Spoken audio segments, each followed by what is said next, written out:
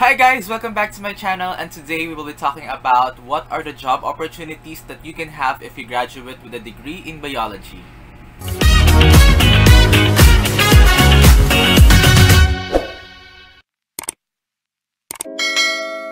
This is a video that everyone has been requesting in my previous videos about BS Biology and I cannot answer it one by one because number one, I don't really have a lot of information about the course oh. itself even though ako po ay kumukuha ng BS Biology and I'm not that super sure because when I entered biology, I was not necessarily looking for what are the jobs that I can take if I graduate with that degree. I was more of the student na very idealistic na kapag kinuha ko yung gusto kong course, eh magiging masaya ako. Basically, I did not look like super ahead of my time po na kailangan ko talaga tingnan ko ano talaga yung makakuha akong trabaho kapag graduate ako ng biology. Because I was very idealistic na kaya kong maging doctor, if ever.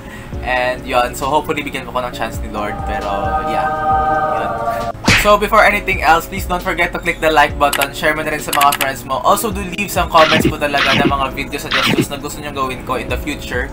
May it be bio-related or personal vlogs and I will really really appreciate that.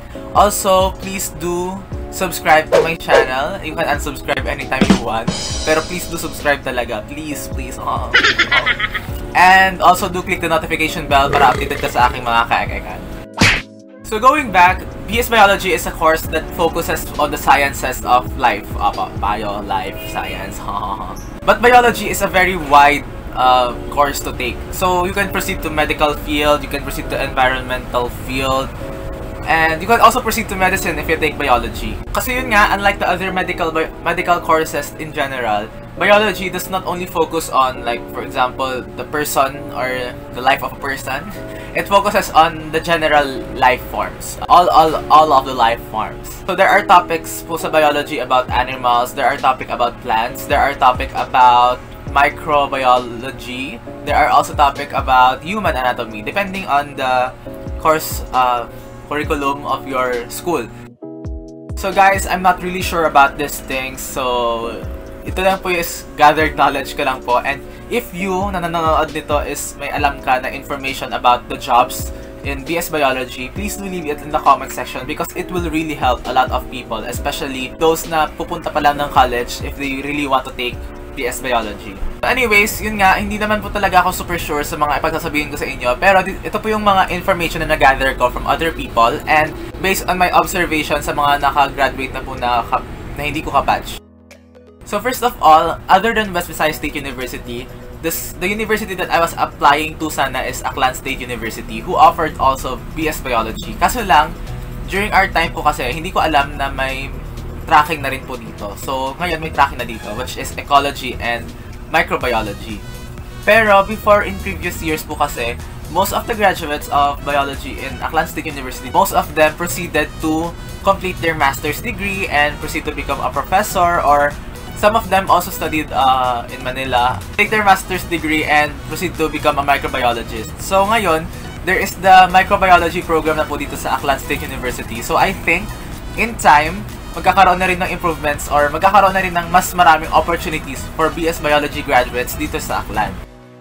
Sa West Visayas State University, as I have said, there are three tracks po. Most of our medical biology graduates proceed to med. Yun po kakaalam ko. Pero some who do not proceed to med take up master's degree and then teach as biology professors. And there's also biotechnology and microbiology graduates. Most of the graduates who do not proceed to microbiology eventually become researchers. So marami pong field ang research sa biology. And that's the greatest advantage. Kasi yun nga, biology is a very wide field. And you can make research not only on um, animals or diabetes or things like that. There are also researches po sa biology which focuses only on fungi. There are also research in biology that only focuses on marine biology. There are also research that focus on agricultural biology. So therefore, marami po kayong pwedeng applyan na trabaho kapag you become a biologist. Pero, yun nga, mostly research talaga. So where can you apply? Ang pagkakalam ko, there are a lot of biology graduates sa DNR and uh, agricultural department. I don't know, not necessarily super sure ako, pero yun pagkakalam ko. And what I really like about that is, yun nga, I really like na nature. Nature.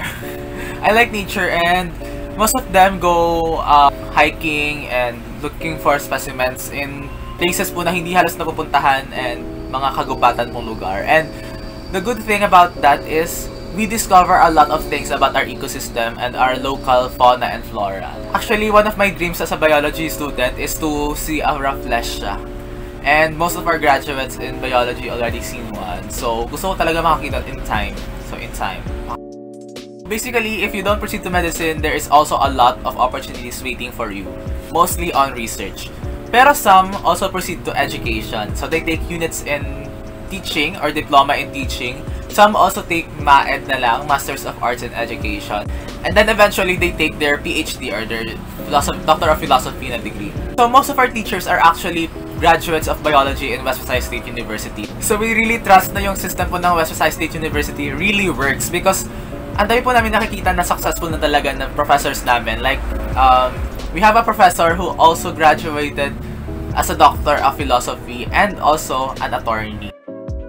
And what's good about biology, since malapad po yung field niya, you can also take units sa other medical field. Like for example, if you want to proceed to uh, medtech, you can take units for medtech, you can take units for uh, nursing, yung ganun po na ano part. Kaso lang hindi ko alam kung magiging madali ba yun or magiging mas mahirap. Pero yeah, you can you can take units for other medical courses if you don't want to proceed to medicine or you cannot proceed to medicine. That's a good option.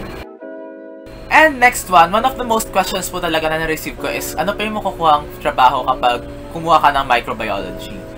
Actually, microbiology in the Philippines is has been there for a long time na. Kaso lang hindi po siya siguro napapansin masyado. To become a microbiologist in the Philippines, you only need to take units for microbiology. You do not necessarily need to take the board exam, I think. Kasi yun pagkakaalam ko. Uh, most of our graduates of BS Biology major in microbiology at West State University uh, proceed to factories like uh, San Miguel Corporation, I think. Uh, daming I think. Kasi hindi yung pagkakalam ko. So, ang job po talaga ng microbiologist is to quality control. Yun po yung ginagawa nila. So, in our visit once in um, in a plant or a factory doon po sa Negros, we visited a huge factory. Like, ang laki-laki talaga ng factory. And, in the quality control na part, doon po nagtatrabaho yung microbiologist nila. So what do microbiologists do? So basically, what they do is quality control. So for example po, dumating na po yung isang batch ng mga pagkain na produce ng factory. so what they do is they take samples and then they check for bacteria po. So once na sumobra po yung mga bacteria po na tumutubo doon sa uh, specific na food, it can cause problems po sa in the human body. And that's the time the microbiologists claim if there should be a sanitation of the whole factory or there should be um, things like that. Yung action po na gagawin ng factory. So in the field of microbiology, there are exams po. There is an exam that you can take to become a registered microbiologist that is given by the Philippine Association of Microbiologists. So, ang pagkakaalam ko po is you do not necessarily, do not, you do not necessarily need to take the board exam or the registration exam or the certification exam. You just need to take the units to become a microbiologist. Pero yung exam po na yun, it will help you in your credentials po. Kasi, uh, recognize din po yun ng mga companies po na nag-hire po ng microbiologists. So yeah, that's basically it guys. And ako kasi personally, I entered biology not because ang daming job opportunities na naghihintay sa biology or because ang lapad po ng field. I entered biology because I was unsure of what to take in college. I was sure that I wanted to take biology but I'm not sure if what I wanted to do after I graduate. So ako personally, I had two options. I want to teach. Yun po talaga yung gusto ko. Yun po yung passion ko. Pero deep inside me, I also want to proceed to medicine. So I saw biology as a field na pwede kong i-proceed both teaching and medicine na mag-excel talaga ako. So yeah, so idealistically speaking, if you're unsure to take what to take up in the medical field or what to proceed to, if you want to proceed to medicine or you're not sure if your finances can do it, eh, yun. Biology is a good option too. So, yeah. Pero, hindi lang po kami pang option ah.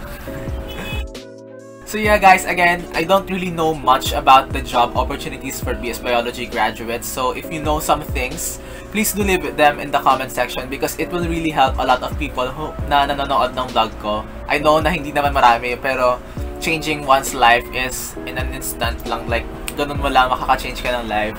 So please do leave that in the comment below. Yeah. That's it guys. See you next time. Bye.